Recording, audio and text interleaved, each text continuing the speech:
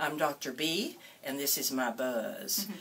I want you to meet one of our teachers at Ars Nova today. She's a voice teacher, also does ear training for us. And she has an interesting story because we've been talking for the last couple of weeks about vocal health and how important it is that we take care of this precious gift we've been given. Um, Dixie took her degree and a graduate degree at Samford University, and I'm going to ask you to talk a little about her teacher there, who was a very famous pedagogue at the time she studied with her. I think she's gone now. And, and then we'll talk about what you did after graduation. Oh, we don't want to talk about that. Yes, we do. Mrs. Owsley, Eleanor Owsley, was my teacher at Samford, and she was renowned in the area.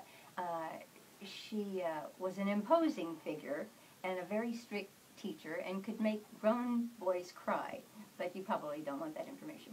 But she auditioned for the Met just to see if she could make it. She had already had a family, and she did. She made it.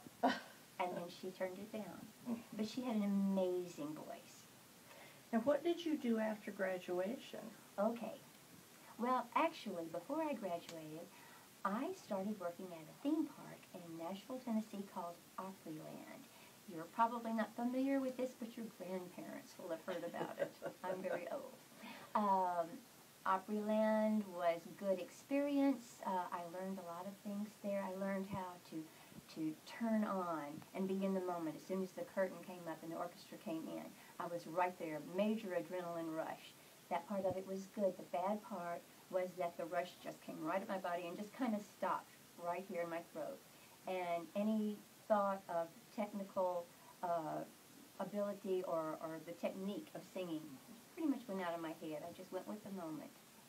What eventually happened? You, you had some difficulties. What told you you were getting in trouble?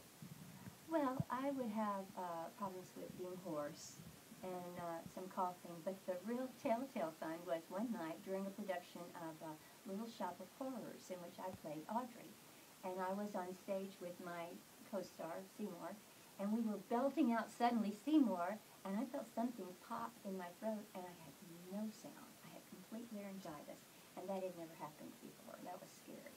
Yes, it was. Gosh. So you understand why I wanted her to share her story with you.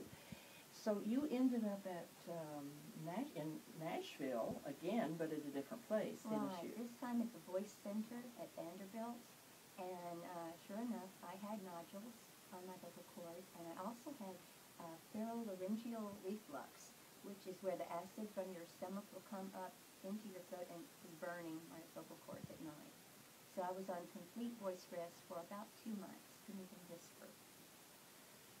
I, how long have we been working, Dixie? About 15 years off and on, haven't we? At Uh, least, at and, least. and when she came to me, she she'd been singing again and taking better care of her voice, and uh, but she's worked hard, and I think we'll have her on another time because I want to tell you before we use our time that uh, she's singing better than she ever has in her life. I'm just amazed at her, and we are starting a program at Ars Nova.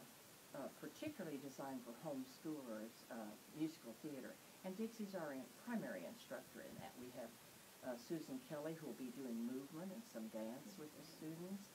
But it's going to be fabulous. But she understands how important it is that we not only sing with excitement, but that we sing with health. Thank you so much, Dixie, for sharing. I enjoyed it. Thank you.